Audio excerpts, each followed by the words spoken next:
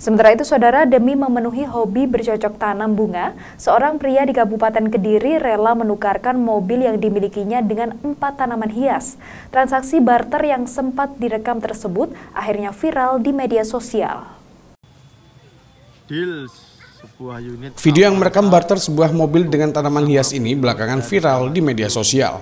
Dalam video ini, seorang pria terlihat menukarkan empat tanaman hias dengan sebuah mobil berwarna hitam.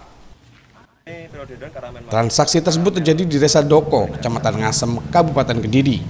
Sang pemilik mobil adalah Iqbal Akbar Muhammad, pemuda yang baru berusia 23 tahun. Iqbal rela menukarkan satu unit mobil miliknya dengan satu pohon philodendron berukuran besar, serta philodendron strawberry stick dan beauty yang berukuran kecil. Ia juga mendapatkan tanaman hias lainnya dengan jenis kaladium berukuran sedang dari transaksi tersebut. Bagi Iqbal, mobil seharga 105 juta rupiah yang dimilikinya dianggap sebanding dengan harga empat tanaman hias tersebut. Selain empat tanaman hias bernilai ratusan juta itu, Iqbal juga memiliki berbagai bunga bernilai jual tinggi. Selain dijadikan koleksi, tanaman hias tersebut juga dijual kembali ke Jakarta hingga ke Singapura. Kalau nilai gimana ya?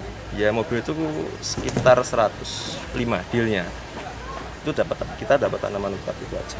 Apa aja mas? Uh, tiga jenis philodendron sama satu jenis kaladium kaladiumnya dua warna rindu. Tapi kebetulan kaladiumnya udah lagi. Kenapa mas rela menukarkan mobil itu demi tanaman? Kenapa? Apa Kalau yang lebih relanya sih enggak. Nah apa ya? Ada kepuasan sendiri lah untuk jenis tanaman itu.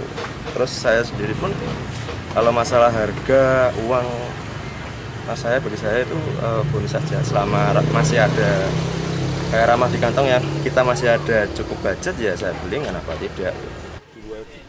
Saat ini, harga setiap daun tanaman hias jenis philodendron sendiri berkisar antara 3 hingga 10 juta rupiah. Bagi Iqbal, tanaman hias juga dijadikan investasi yang menjanjikan.